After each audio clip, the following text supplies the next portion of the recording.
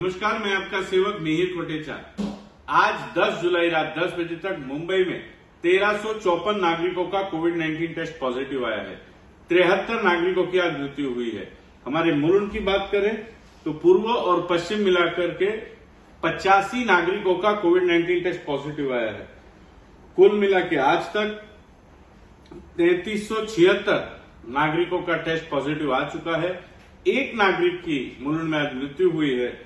और 27 नागरिकों को आज डिस्चार्ज मिल चुका है। आज दसवीं व बारहवीं कक्षा के आईसीएसई के विद्यार्थियों के रिज़ल्ट लगे हुए हैं। मैं सभी विद्यार्थियों को बहुत सारी शुभकामनाएँ देता हूँ और सभी को ये एक अनुभव कहना चाहता हूँ। बहुत सारे विद्यार्थियों का आज फ़ोन आया था, कॉलेज का एडमिशन कैसे होगा ऑनलाइन होगा, क्या होगा?